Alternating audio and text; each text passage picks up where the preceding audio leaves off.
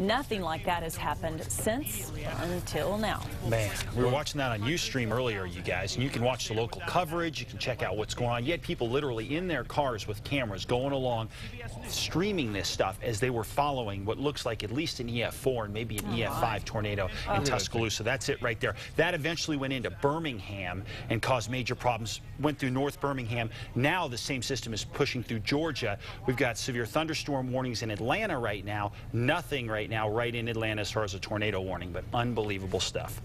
Meanwhile, here, what's the first thing you felt well, this you morning? Know what? It makes our whining about the wind not so bad. That's right. So let's whine about, about, the cold. cold. Yeah. Let's just whine about that this morning. It was.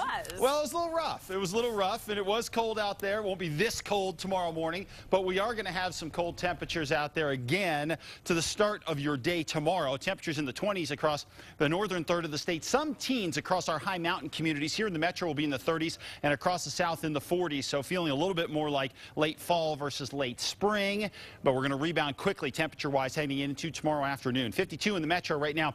Winds out of the north at 13 miles an hour for us. 30s and 40s off to the north right now. Down to the south, temperatures for the most part 40s, 50s, and 60s. So not a bad evening, but thanks to the clear skies and dry air over us, we're going to plummet those temperatures pretty quickly throughout the night tonight and into early tomorrow morning.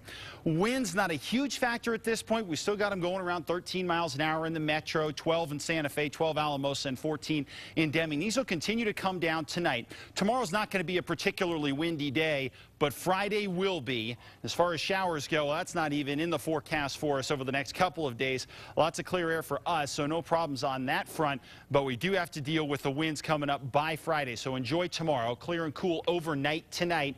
And then the difference between today and well, essentially tomorrow will be the fact that we are going to have much warmer temperatures out there, about 15 degrees warmer across the state here, and then we get into Friday and we have to deal with a lot more wind for a couple of different reasons here. We've had to deal with the jet sitting over New Mexico a lot recently. That's going to happen again for tomorrow, so, or excuse me, for Friday. So essentially what we're going to get here is the jet rolling up high, and eventually we push some of those winds down to the surface up to 50 miles an hour in the metro, 65 across the east, but it's not just the jet. We're also going to have a low pressure system slide to the north. That acts as a vacuum cleaner of sorts that'll help to suck some air across the state too. That will help to peak up winds a bit.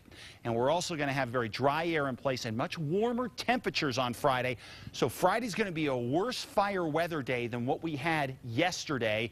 Not a great setup for us. Good thing about yesterday was at least we had some moisture across the north. That's not going to be the case for us for Friday. So the high wind watch in effect all across east central sections and northeast sections for Friday. Could see those wind gusts topping 65 miles an hour. We'll keep you posted on that until we get there across the north and west. Temperatures here for the most part 60s and 70s. South winds 10 to 20 tomorrow. Winds crank up on Friday and then a shower or two possible Saturday into Sunday. Over to the southwest. Temperatures here 70s and 80s. Lots of sunshine. Winds not a real factor, but by Friday they will be with a high of 80 degrees in Silver City. Over to the southeast. Warm tomorrow with winds not a huge factor, but even warmer coming up for Friday. High 95 in Roswell with wind gusts over 40 miles an hour.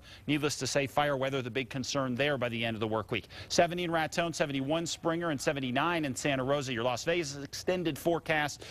Temperatures for the most part going to warm into the 70s by Friday with a lot of wind and over the northern mountains. Wind not a huge factor tomorrow, but it will be a huge factor by Friday with a high of 74 in Santa Fe. East Mountains temps topping out tomorrow for the most part in the 70s. And finally right here in the metro area, great day tomorrow but not such a great day by Friday. Temps will be good on Friday, but those winds could gust over 50 right here in the city. All right. Thank you, Mark. And we'll be right back with sports.